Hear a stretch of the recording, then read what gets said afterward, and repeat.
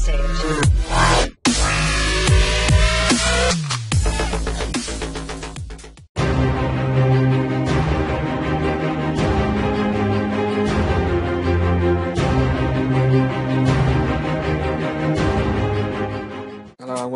To El Clasico preview. And if you haven't really noticed, I have got a cold. So, warming up for this weekend, of course, we've got a number of games in La Liga, but the one we're going to be focusing on this weekend is, of course, the Sunday match between Barcelona and Real Madrid live from the Santiago Bernabeu, which is El Clasico, and it's a very, very deciding match. I think whatever way you look at El Clasico, it's massive for both sides. I think coming into the game, of course, more of the pressure is on Barcelona because, of course, it's a game which both sides have got to go out there and perform for their fans, but more so Barcelona have to win in order to gain back some valuable points in the title race. So it's going to be a huge game, so much expectation, so many world class players. You know, there's going to be 80,000 screaming fans inside the stadium. And of course, two of the best players in the world head to head against each other in Ronaldo and Messi. So certainly it's going to be a game which you'll see a lot of tactical impl- inclinations. You'll see a lot of um, squabbles. You see a lot of fights, tackles. You know, you'll see referees being under severe pressure from both managers. You'll see certain things in the papers beforehand, but certainly going into the game, I think we've got to respect that it's two world class sides at the moment going head to head against each other with 22 world class players on the pitch. And it'll be it'll be that kind of game. I think it'll be a game which is very very tight, very very congested in the midfield area. I certainly think Barcelona will come there and put a marker down, and certainly feel as though they're going there and going to go and dominate the game in the midfield, going to have possession for a lot of the game. Madrid will be quite happy to sit back and uh, absorb a lot of the pressure as long as they don't concede and then hit Barca on the counter attack.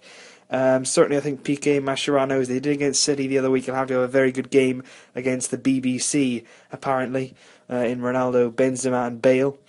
Uh, Benzema looks on course to be fit for the game, although it's not quite decided. Jesé certainly ruled out with that cruciate ligament injury yesterday, picked up against Schalke. He could be out for around six months with that injury, a really bad knock for a young man coming into his game and performing really well this season. Uh, but certainly for Barca fans, it will be a game that you go into with a lot of belief, a lot of um, you know confidence. Certainly after the week we've just had, um, there's Osasuna, the seven 0 demolition of them. There's been a game against Man City, which has been a very important game to get through the quarterfinals of the Champions League. But certainly for Madrid as well, it's not been all bad. Certainly they didn't play their best against Malaga, but certainly against Schalke they may have only won 3 1. But they had the Clasico in mind. They uh, rested a lot of players there. Ronaldo scoring twice, and Alvaro Morata, who, if Benzema isn't fit, could be called upon. He came into the side and scored a goal. So it's going to be a game which is going to have defining moments. And certainly, I think whoever scores the first goal will give a massive, massive lift to the entire side, and they'll take that momentum throughout the uh, entire 90 minutes. And I think that it's going to be one which is impossible to predict because anything can happen on the day. There can be certain decisions which doesn't go your way, certain um, you know injuries or suspensions, you know that go the way of Real Madrid or Barca. Certainly, Ancelotti in the first Clasico of the season decided to sort of tinker with the formation and play Sergio Ramos in midfield. That backfired. So I don't think we'll see any rash decisions from either manager. Tata Martino's got more of a variety to choose from than Real Madrid, despite Real Madrid having the larger and probably better squad than Barcelona at the moment. Uh, but certainly Tata Martino can go with the original 4-3-3 with the three uh, front, Messi in the middle and the two wide players, or he could go with the side that had been playing against Man City, which is the sort of four midfielders with Cesc Fabregas being brought into the side. So he's got a little uh, alternation there that he can choose from. Uh, Carlo Ancelotti will probably go with the 4-3-3.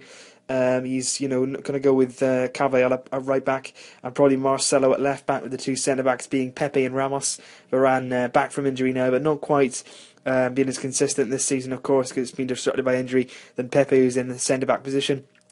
You'll then go with Alonso. Big, big test for Di Maria in midfield. You know, a centre midfielder who at the moment this season has been very, very good, very consistent there, considering it's not his actual position. But uh, certainly it'll be a very, very big game for him, tested to the full uh, with the likes of Xavi and Iniesta in Barca's midfield. Uh, then you got Modric, very, very, very good season for that young man. Um, you know, the Croatian coming last season wasn't really firing on all cylinders at the start of his career, but certainly now he's found his feet and is a really, really accomplished player. Um, then you've got the BBC, as I said, Karim Benzema, Cristiano Ronaldo, and Gareth Bale, who've been in devastating form this season. So looking at Barca, you've got Valdés in goal, right back Dani Alves, Piqué Mascherano, preferred departure, of course. uh, left back Jordi Alba, Busquets, Xavi, Iniesta. I think he'll stick with the traditional 4-3-3. I really do. I think we'll see Neymar return. I think he didn't play any minutes against Osasuna, and certainly now he'll come into the side. But it's who plays in Alexis and Pedro. That's a really, really interesting one. I think he might go with Pedro because he's a big game player. He, you know, very, very clinical in front of goal. Certainly, I would probably would start Pedro, but I might start Alexis as well. You know, I think Neymar maybe quite, hasn't quite earned the right to start this game, but certainly be used off the bench. And same for Fabregas, really, if he's not involved from the start. And of course, Lionel Messi, who's been prolific throughout 2014, will start in the centre of attack for Barcelona. So it's going to be a massive game for both sides. Huge pressure on both of them. Barcelona have to go there and win. They can't draw or lose the game. So certainly it's there for Barcelona to win. If they score the first goal, it's going to be really tough for Madrid to come back because Barcelona will try and pick them off, try and outnumber the midfield, but certainly on the counter attack, do not write Real Madrid off.